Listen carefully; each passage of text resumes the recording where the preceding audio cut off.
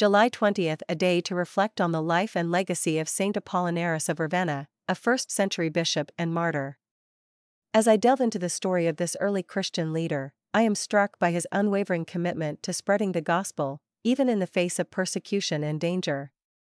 Apollinaris, a disciple of St. Peter, was sent to Ravenna, Italy, to establish a Christian community. Despite the challenges he faced, he remained steadfast in his mission, converting many to the faith and building a thriving church. What resonates with me about St. Apollinaris is his courage in the face of adversity. He was not deterred by the threats and hostility of the pagan authorities, nor did he falter when faced with the prospect of martyrdom. Instead, he continued to preach and teach, even as he was being led to his execution.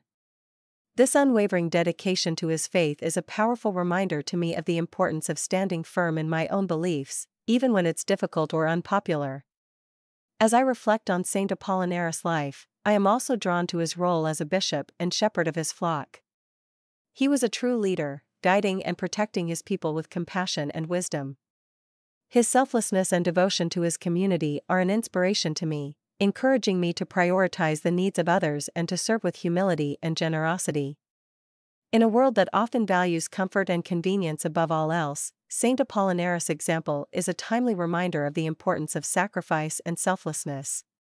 His martyrdom, which occurred on July 20th, is a testament to the power of faith and the enduring legacy of those who have given their lives for the sake of the gospel. As I go about my day, I pray that I may embody some of the qualities that define Saint Apollinaris' life courage, compassion, and an unwavering commitment to my faith.